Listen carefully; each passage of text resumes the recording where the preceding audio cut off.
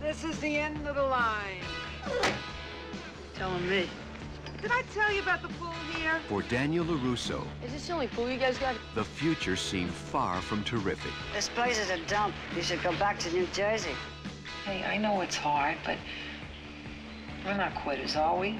Until he met the right girl. I. She's beautiful. I say she's beautiful. I think she's beautiful. Is that your address?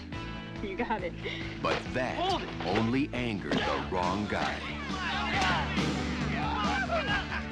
Cedar Oaks Country Club at 9.30. Definitely. You gotta be nuts. And his troubles really began. You to push it. Now you can pay. Then, in one man, he found a teacher I promise, teach karate. and a friend Fighting always last answer. How did you do that? Don't know. First time. Power, whole body. Make a perfect picture. But How do I know if my picture's the right one? If come from inside you, always right one. Lesson about the balance, not just karate, lesson for whole life. Why train? So I won't have to fight. Hey, Karate Kid, let's take a move.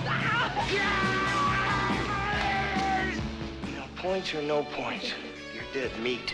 I don't have much of a cheering section. You got me. In the end, it will be in Daniel's hands. In his body.